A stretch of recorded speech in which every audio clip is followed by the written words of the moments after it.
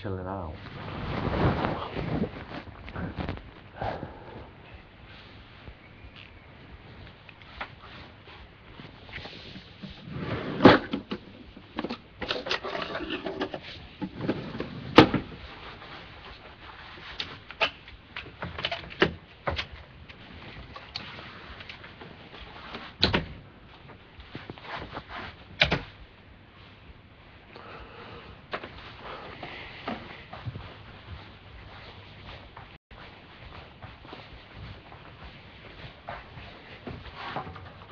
They just pale into insignificance, but you know, compared to his love.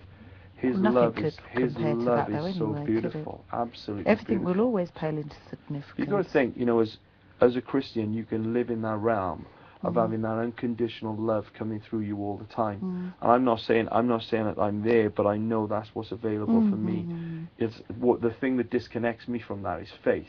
Like there, and that, and I've done some in the knees, and that. All you have to do is get them, so they're kind of like that.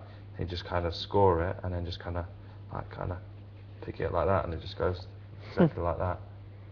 It's pretty easy. I'll show you how to do it sometime. Ah, You two could just sit and eat.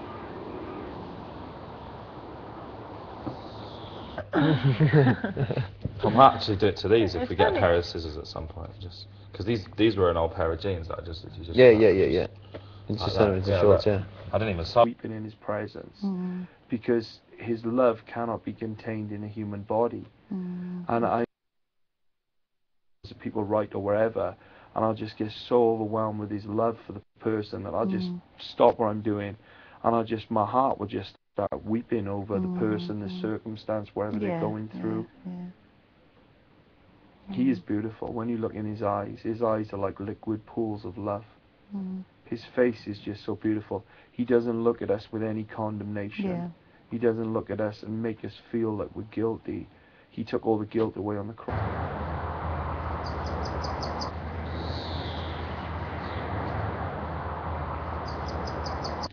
She's done like, um, of course, she does all like fashion design and that. She's a model as well. She does some. She makes some awesome t-shirts. You know how I've got, I've got some that have got quite low necks. Well, like, oh, she, I don't know how she makes them, but like she makes them all for him and what. Just come out of a shop because obviously she makes them all. Awesome. Where, where'd you get that top? This At the brand, River Island brand.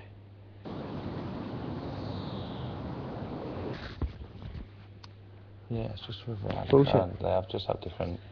They have different uh, collections, I guess, that are that have different names and labels. Do you know what I mean? But it's Does everyone, does, does because everyone knows about it, does everyone wear the same shit though? Not always, like, because a lot of different shops don't stock all the same as well. Oh, yeah, yeah, Like, yeah, yeah. Literally, a T-shirt I could buy in River Island, Island in London, I can buy back where I'm from Oh, yeah, yeah, yeah. in Peterborough. Yeah. Like, they just London's just so.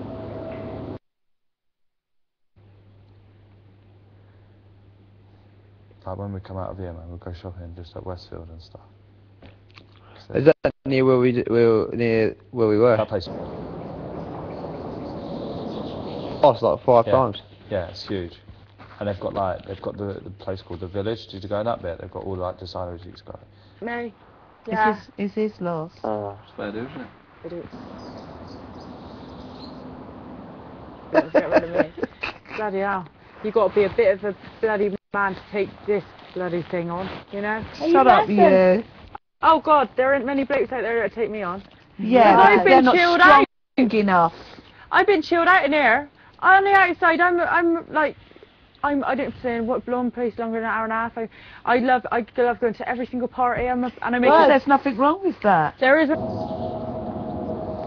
Yeah, but you'll learn. You'll grow out know of some. You You'll there. grow out of Yeah. some of you that, there. You're gonna meet the guy who's gonna love you because of babe. that. You'll grow out of some of that. Yeah, I walk into some clubs and I hear just some people go, "Oh, I can't stand her." Oh, Where, yeah, them. yeah, where I just, I just go off my head after, after I've had a few. Uh, No, but I You think we're all, rudies. all can be different inside here. You here. just gotta meet someone who loves you for it.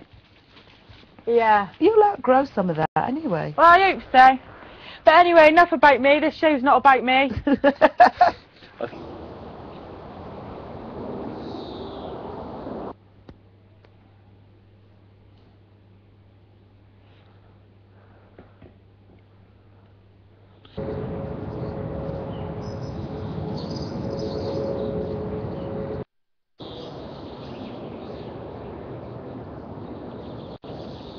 about myself in here. What? I am so self self-obsessed.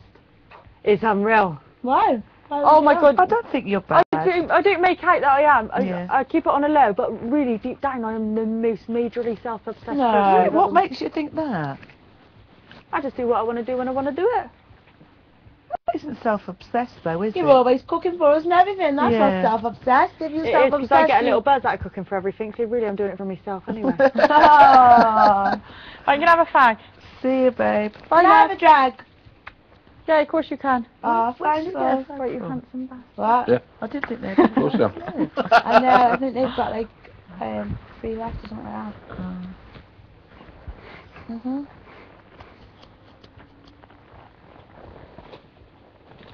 Alright, let's get the party started then. Who's going first? What are we doing?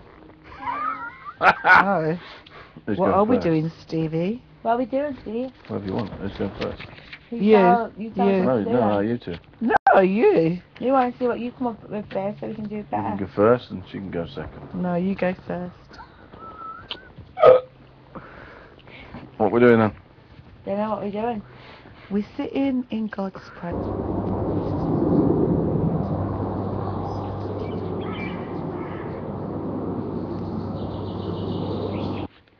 Yeah, I put two in the bag, and like for some reason they keep giving me the two. So That's all right.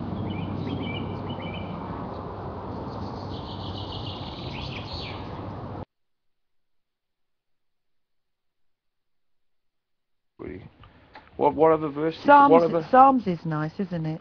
I like the Psalms. I like the Song of Psalms Solomon. nice. Well, in fact, let me read. the It's man. the Yes, yeah. you know Solomon. Sit there a minute. Okay. Right, you know Solomon. He was the ultimate player.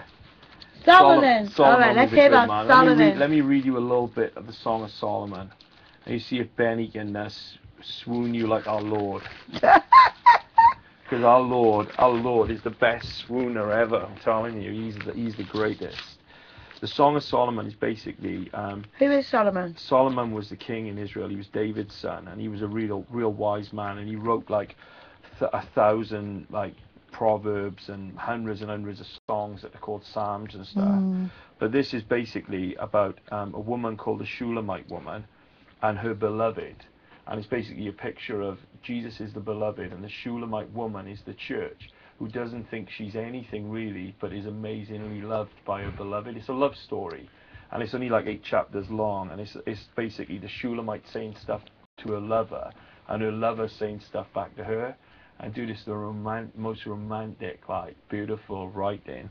But let me just read you a little bit of it. It says, uh, the Song of Songs, it says, um, this is the Shulamite. She says, Let him kiss me with the kisses of his mouth, for your love is better than wine. Because of the fragrance of your good ointments, your name is ointment poured forth. Therefore the virgins love you. Draw me away. And then it says, We will run after you. The king has brought me into his chambers. We will be glad and rejoice in you. We will remember your love more than wine.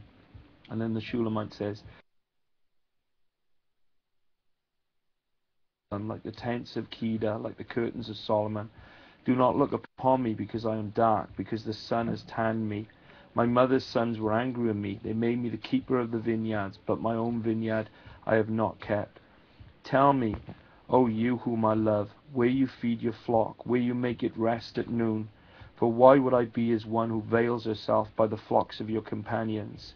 And this is now the beloved, which is like Jesus talking to us. He says, If you do not know, O fairest among women, follow in the footsteps of the flock and feed your little goats beside the shepherd's tent.